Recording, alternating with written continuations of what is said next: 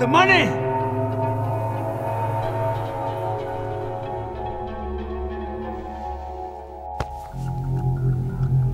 Where is the money? I don't have it yet. This is your last chance, no?